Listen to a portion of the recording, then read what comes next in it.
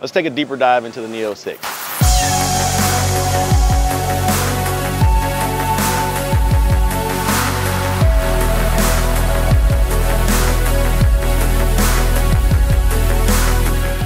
The Neo 6 has 12 injection drives and 8 ignition drives. That means that you could do up to 8 cylinders with sequential ignition and injection, or you could do 6 cylinders with staged injection and sequential ignition. Just like the rest of our Voodoo ECUs, this is compatible with our DI driver to work with direct injected engines. And the Neo 6 also has a built-in Lambda sensor controller.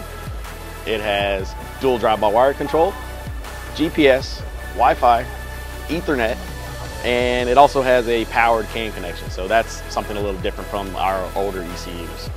Another cool feature about the Neo is that it has multi-function input and output pins.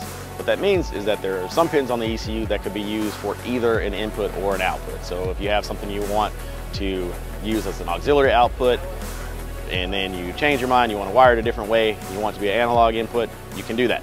Look out for the release of this ECU next year and check out our website, linkecu.com for updates.